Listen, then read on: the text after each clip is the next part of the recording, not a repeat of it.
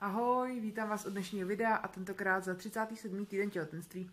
Já doufám, že vás vedle z obejváku nějak do toho videa nebude rušit uh, vysavač, který tam vysává. Uh, pořídila jsem si minulý týden pomocníka, uh, myslím si, že uh, to bude úplně super takhle potom s prckem, že vlastně každý den on je nastavený, takže začne vysávat, takže to bude úplně super.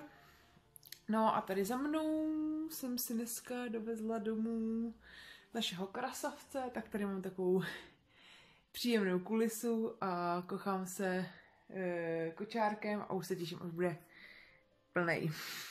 E, teď k tomu, co se tenhle týden dělo. E, pondělí, úterý klasika, taková, taková ta domácí nuda.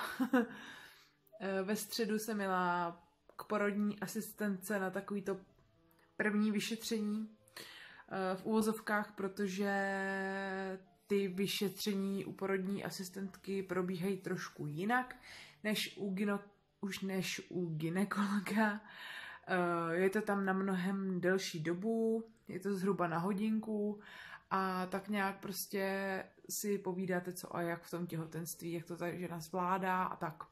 Já jsem jí tam donesla moji služku s veškerýma vyšetřeníma, tak se tam na to dívala říkala, že je všechno teda v pohodě.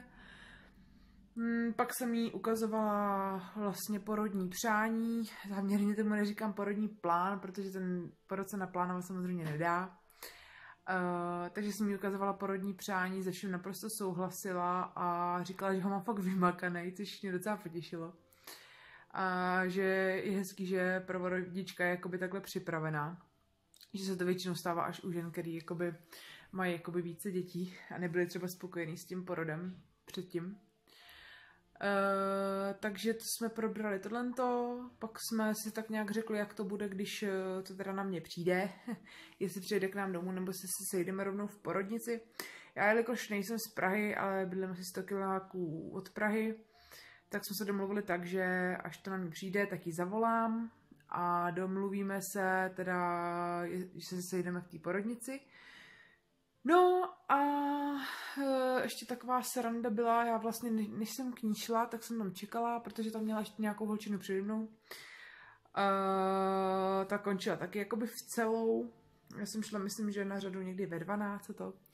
No a teď, jak tam sedím a čekám za těma dveřma zašupovacíma, tak vylezla uh, kolegyně od, uh, teda partnerka od mého bývalého kolegy z práce, tak jsem se úplně zasmála, že jako se sejdeme zrovna tam a shodou okolností má termín asi dva dny po mně a taky bude rodě v Rakovníku, takže kdo ví, třeba se tam sejdeme. Jinak dneska je teda neděle, Uh, já jsem včera zadělala různý těsta na cukroví, dneska teda jsem celý dopoledne pekla. Uh, budu dělat jenom čtyři druhy, asi toho nebudu dělat víc, nebo pět druhů vlastně, pět. Pět druhů, a tak nějak mám plnou krabici, hodím vám sem když tak fotku.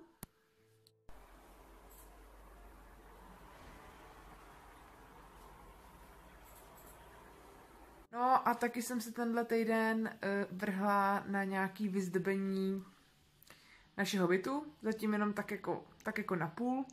A natočila jsem vám z toho krátký video, abyste se trošku se mnou naladili na tu vánoční atmosféru, tak se na to pojďte podívat.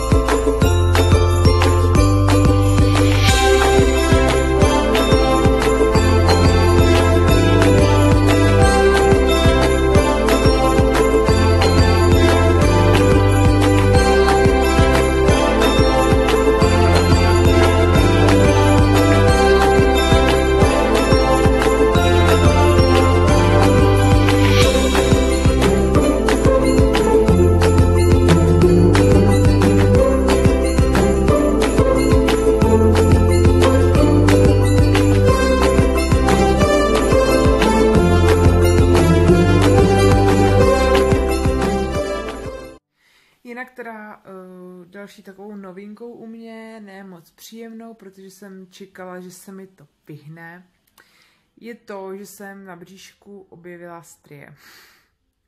Ale není to nic hroznýho, ale pár těch prasklinek tam je, nicméně já vám vlastně můžu ukázat bříško. A můžu na špičky stoupnout, takhle vypadá bříško, jo. A já ty prasklinky mám vlastně jakoby tady takhle, oni nejsou vůbec vidět, já doufám, že to jakoby vydrží ještě, ale takhle momentálně vypadá moje bříško, teď mi tady otravuje za dveřma vysavač, takže to možná slyšíte. A je to tím, jak mi začalo trošku klesat dolů, no, tak ta kůže to prostě asi nevydržela, ale když to bude jenom takhle, tak to bude jedině dobře.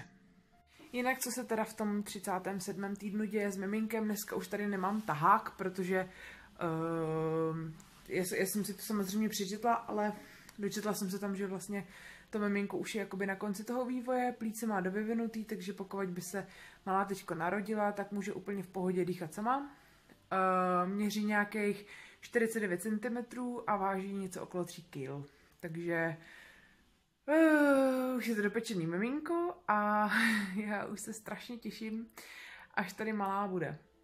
Jinak jsem začala cvičit s Anibolem, Uh, vlastně cvičila jsem ten první den, druhý den a teď jsem jeden den, včera jsem vlastně necvičila, protože nějak na to nebyla úplně nálada a já to vlastně nechci lámat přes koleno. Nicméně, když jsem cvičila poprvé a po druhý, tak jsem na, nacvičila 22 cm, což mi přijde docela dost na poprvé. A paradoxní je, že nejlíp ze sebe dostanu ten balónek, když se soustředím na to nic nedělat a totálně se uvolnit, tak on jde potom úplně sám, což mně přijde úplně jako takový, um, jak to říct, protichůdný, takže jsem myslela, že ten balonek se má vytláčet, jakože zatlačit, asi jako, asi jako jo, ale prostě mě to jde nejlíp, když se úplně uvolním a on jde potom úplně sám, takže takový blbý téma, že no, ale prostě vlog o těhotenství, no, takže, takže tak. Jinak piju maliník každý den, chtěla jsem masírovat i hráz, jenomže to mi není vůbec... Takhle, zkoušela jsem to sama, chtěla jsem do toho zapojit i přítele, ale nakonec na to asi, asi kašlu. Uh, jelikož mi to není vůbec příjemný, tak uh, to nebudu dělat. Nebudu masírovat hráz, já tím, že cvičím s tím anibolem, tak si myslím, že to bude stačit. A ještě si chci zítra koupit lněný semínko a jíst lněný semínko. Jinak, co se týče jakoby nějakého mýho psychického stavu, tak strach z porodu nemám vůbec. Uh, spíš jakoby jsem zvědavá, co mě čeká, no. Spíš jakoby tak, protože mm, já nevím, jak to říct, no, protože já vím, že ten strach tam prostě není dobrý u toho porodu, že to ničemu nepomůže. A soustředím se na to, abych prostě věřila tomu svýmu tělu, věřila tomu, že to bude všechno hladce a tak, no. Takže jako už je to spíš takový, že nic nestuduju nikde, nic nikde nečtu, nepátrám po žádných informacích a snažím se spíš jako tak se na to začít jako nalazovat Uh, já jsem v jedné facebookové skupině, která vlastně uh, je zaměřená na maminky, které mají termín v prosinci. Uh, poměrně dost už jich tam začal rodit, takže jsem zvědavá, kdy to přijde na mě. A rozhodně se na to těším a doufám, že to bude pěkný zážitek a že si to užijeme s přítelem ten porod a tak. Jinak zítra uh, jedu do Rakovníka, pondělí jedu do Rakovníka, kde vlastně eh, dostanu nějaký papír na vyplnění, abych to pak nemusela vy, vy, vyplňovat na příjmu a jako zaměstnavatel a uh, rodinná anamnéza a tak. A budou mi tam dělat ozvy miminka a v úterý jedu zase ke kačce k mojí porodní asistence na další kontrolu. Jinak je moc milá a já tady tou schůzkou vlastně, kterou jsem měla hmm, kterou jsem měla b, ve středu, tak jsem si fakt utvrdila v tom, že to absolutně nebudou, že to řekl blbě, vyhozený peníze. A uh, dodává mi to takový ten klid, že u toho porodu budu mít někoho, koho v úvozovkách trošku znám a který vlastně bude vědět přesně, co chci a co nechci a bude se hlavně s těma mýma potřebama uh, a přáníma stotožňovat, což za což jsem strašně, strašně ráda. A ka- určitě to doporučuji, pokud jenom trošku máte možnost a váháte, jestli jo nebo ne, tak určitě do toho jít, protože ta péče uh, se nedá srovnat s nějakýma poradnama na ginekologii, prostě tam, já, já to neodsuzuju, já prostě vím, že to nejde, jo, aby se tam doktor uh, vykecával s pacientkou tři čtvrtě hodiny o tom, jak se cítí a tak, ale prostě ten přístup té ženy, té porodní asistentky je úplně prostě diametrálně odlišný. E, malou mi normálně jako prohmatala bříško, říkala, že už krásně se stupuje do pánve, je to i právě, to, to je známka i toho, že mi to bříško kleslo, že je teda hlavičkou dolů a že je vidět, že mám pevnou dělohu, ale že to tělo už se začíná pomalu připravovat. A jakoby mně se hrozně líbí, že tohle to dokáže ta porodní asistentka zjistit bez jakýhokoliv uh, z invazivního vyšetření a vlastně jenom pohmatem to takhle to, takhle zjistí. Zkontrolovala v rychlosti ozvy miminka a tím to prostě bylo. A vím, že další těhotenství už to udělám úplně jinak a uh, k doktorovi si půjdu jenom pro ty hlavní vyšetření a jinak budu, budu určitě chodit k porodní asistence, protože mi tenhle přístup naprosto vyhovuje. Už se těším na ten poradní. Já mám ještě natočen toho našeho krasavce takhle. Uh, to je vlastně ta p- přebalovací tyžka, kterou jsem vám ukazovala. K tomu kočáru, jakoby... Mm, není k němu, ale vypadá, kdyby k němu byla. Skoro, skoro úplně stejný odstín, jako, jako je ta hnědá na kočáře a já ho prostě úplně miluju, ten kočár. A, ne, a je to věc, která nemusí být ani nová a prostě jsem do něj úplně zamilovaná.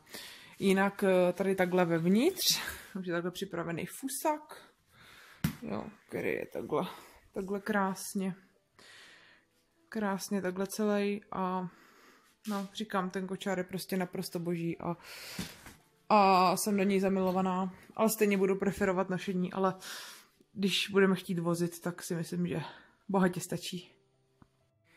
Tak jo, to by bylo za 37. týden všechno. Uh, já doufám, že se vám video líbilo, že jsem vás úplně neunavila tím mým vykecáváním se tady.